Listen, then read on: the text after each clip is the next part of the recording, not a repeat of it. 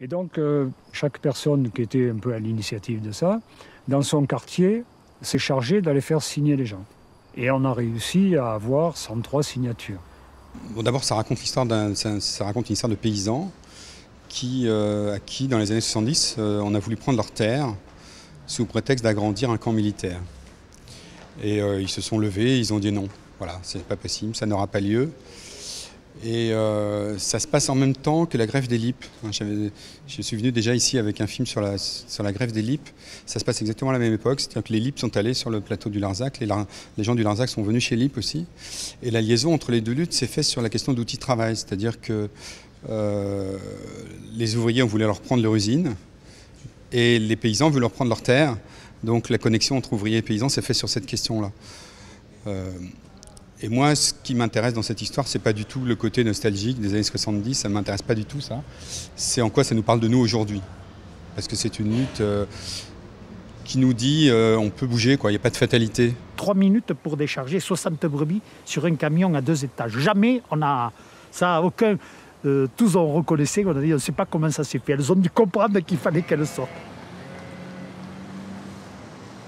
Et nous voilà avec nos brebis, euh, avec un chien qui appartenait à l'exploitation qu'on nous avait offert et qui s'appelait Staline. Ah, L'idée, euh, c'est de montrer que c'est possible, ça a eu lieu déjà.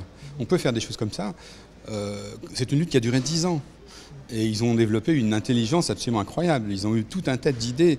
Bon, donc je pense qu'il y a beaucoup à apprendre de, ces luttes-là.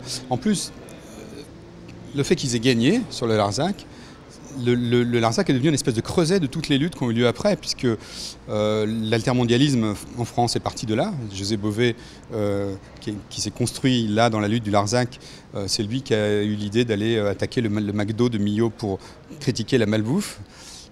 Et puis après, en 2003, euh, c'est de là que sont partis les, faucheurs volontaires d'OGM. C'est pareil, la lutte, les, luttes écologiques, grosso modo, en France, sont parties aussi du Larzac.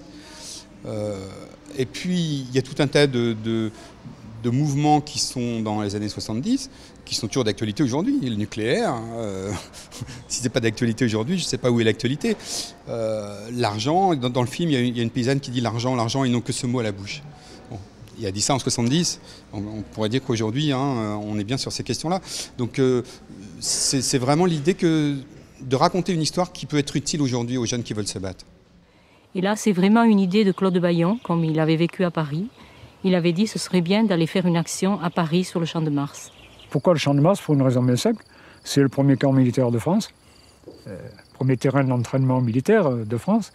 Donc, euh, les, les militaires voulaient occuper nos, fermes, on occupait leur terrain, bon, symboliquement. On voit, dans le film, on voit jamais des témoignages du côté militaire. Euh, pourquoi? C'était pas possi- possible ou pourquoi c'est comme ça? Parce que d'une part, moi, je choisis mon camp, c'est-à-dire que je fais pas, euh, je fais des films du côté de ceux qui se battent. Euh, le point de vue de l'armée, il était très connu. De toute façon, on l'entendait partout la télévision à l'époque. Et puis c'est vrai aussi qu'il y avait un turnover très important sur le, sur le plateau. C'était jamais les mêmes militaires qui étaient là. Euh, mais bon, ce qui est fondamental, si vous voulez, c'est que euh, voilà, moi j'ai envie de raconter l'histoire du point de vue des gens qui l'ont vécu, euh, du côté qui m'intéresse, c'est-à-dire le côté du peuple. Euh, je ne crois pas à, l'objectivité, ça c'est des fariboles de journalistes pour nous faire avaler des mensonges. Euh, ça n'existe pas. Moi je dis je, je fais des films qui disent je, je raconte une, histoire. D'autres réalisateurs pourraient raconter des histoires différentes sur le Larzac. Je ne prétends pas du tout faire le tour de la question. hein. C'est- une histoire possible du Larzac, telle que moi je l'ai je l'ai vécue, telle que moi j'ai envie de la raconter. Et donc j'assume ça. Je crois que le documentaire, c'est pas. euh, encore une fois, il n'y a rien d'objectif, c'est un point de vue sur le monde. Et l'idée, c'est de donner des moyens de discuter, des moyens de, de s'informer, des moyens d'en savoir plus. Le, le- le- le film en soi n'est pas du tout une fin, il est un moyen de lancer la discussion. Il ne devait pas y avoir de commandement, là. On, on était dans l'autogestion, on devait faire naître l'autogestion. Mais alors, c'était une pagaille euh, indescriptible. Il y avait une grande solidarité entre eux, en fait. Bon, alors après, il y avait certainement des, des conflits et tout ça, c'est normal, mais bon, euh, si ça devenait trop embêtant, ils repartaient chez eux, puis ils revenaient un peu plus tard.